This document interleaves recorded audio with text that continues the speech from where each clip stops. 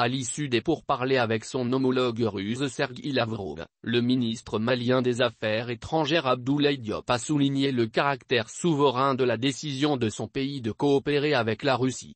Le Mali veut aussi montrer et démontrer que nous n'allons pas continuer à nous justifier pour le choix de nos partenaires. Cette décision est une décision malienne, prise en toute responsabilité. Et le Mali veut travailler avec la Russie comme avec tous les partenaires de nos partenaires qui inscrivent leurs actions dans le cadre de principes clés, a déclaré le ministre malien des Affaires étrangères Abdoulaye Diop. De son côté, Sergei Lavrov a regretté la réaction négative des pays occidentaux au partenariat de Moscou et Bamako.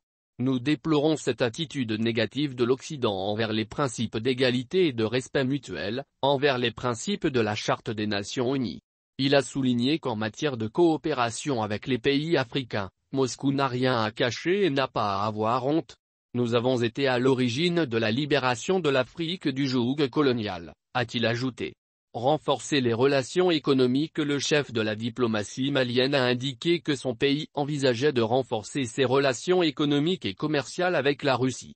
Sergei Lavrov a exprimé son espoir que les livraisons de blé, d'engrais et de produits pétroliers de la Russie au Mali commencerait dans un avenir très proche. L'exploitation des réserves minérales, l'exploration géologique, l'énergie, l'agriculture, les transports et les autres infrastructures représentent également des domaines prometteurs pour nos efforts, a ajouté le ministre russe.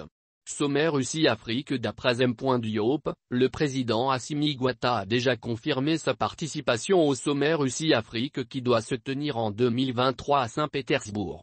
Visite de haut niveau C'est la première fois qu'un ministre russe des Affaires étrangères se rend au Mali.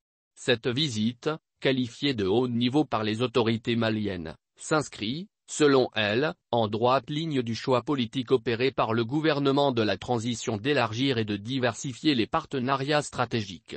À l'agenda du chef de la diplomatie russe figure également un déjeuner de travail et une audience avec le colonel Assimi Guata, président de la transition.